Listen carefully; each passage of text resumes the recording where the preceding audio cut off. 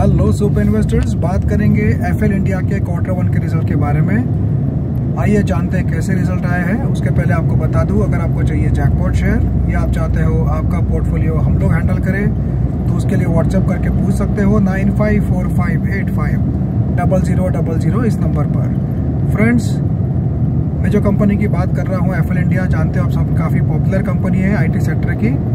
जिसका आज जो फ्राइडे का रेट था one thousand one hundred and ten rupees and fifty two week high था thirteen hundred and seventy rupees सबसे पहले बात करेंगे रेवेन्यू की तो जून 22 में रेवेन्यू आया था 347 करोड़ मार्च 23 में रेवेन्यू आया था 356 करोड़ और अभी जून 23 में आया है 407 करोड़ तो revenue year on year and quarter quarter दोनों भी बढ़ते हुए देखने को मिला है।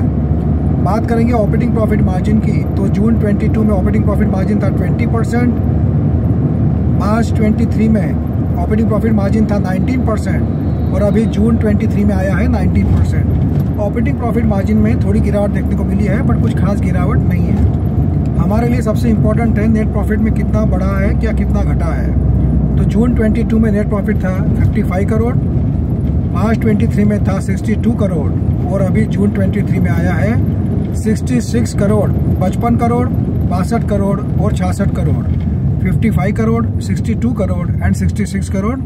तो year on year and quarter quarter FL India का जो है परफॉर्मेंस हमें बेटर होते हुए देखने को मिला है।